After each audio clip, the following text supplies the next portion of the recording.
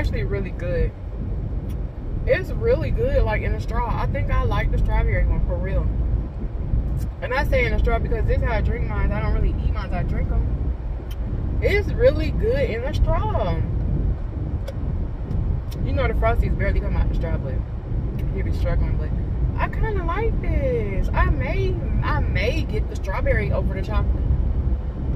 It just depends on how I'm feeling, but I think they're pretty equal. And then you got the In a quarter mile, turn right onto Georgia 74 North, Joel Cowan Parkway.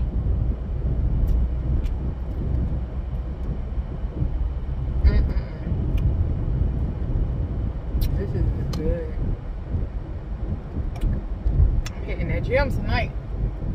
Peace. Take the next right